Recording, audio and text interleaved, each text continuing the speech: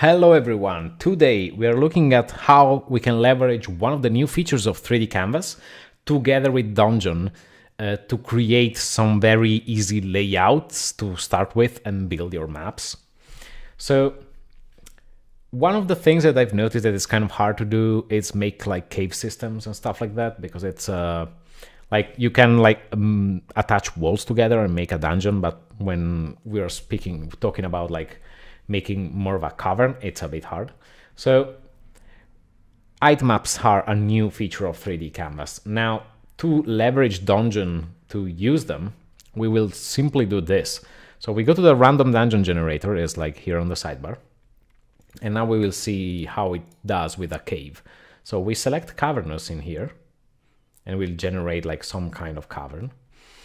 And then we want uh, the grid to be none because we want just the black and white of the uh, nature part of the of the thing let's call it. And we click construct dungeon.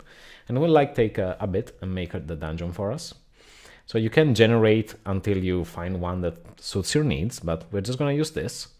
So we will hit download and we are going to download the player's map because the player map will not have the numbers.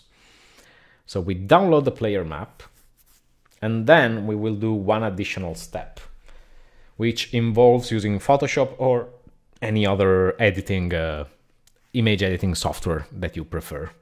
Okay, so now that we are inside uh, Photoshop, we will do a very simple operation. This step is technically optional, but it will make uh, the terrain look way better. So first we're going to image and we can change the size because we don't really need it to be like this big and detailed. I need uh, 25% of the size, it doesn't really matter. And now I'm gonna go to filters and apply a Gaussian blur filter. You can uh, go like with the strength that you prefer, depending on like how strong you want the, the edges to be. I'm just gonna go like uh, two.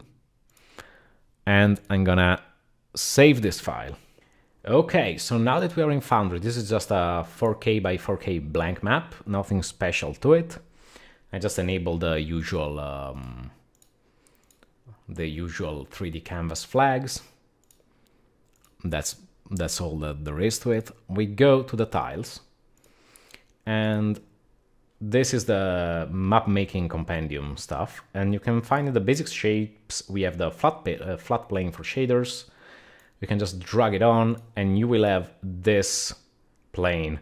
Now I click on it to select it and I can go into the 3D Canvas macro compendium and run this stretch tile to scene. And as you can see, the tile that I have selected is now covering the full scene. With a double click, I can go to the 3D tab of the tile and expand the advanced settings to find the height map settings. Now we go in here, we go into the file that I uploaded to my Foundry folder and we select it. Now I will click apply and you will see that we have already our dungeon here. It looks uh, very white, one might say. So let's open the material browser and let's find like a rock or something. And we can apply the material. I will use like one of these, set like a repeat on the texture so it's not like so low resolution like this seems like a decent number. And now we have our map inside Foundry.